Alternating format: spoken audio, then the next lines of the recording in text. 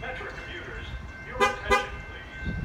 The next Metro train approaching your station will be a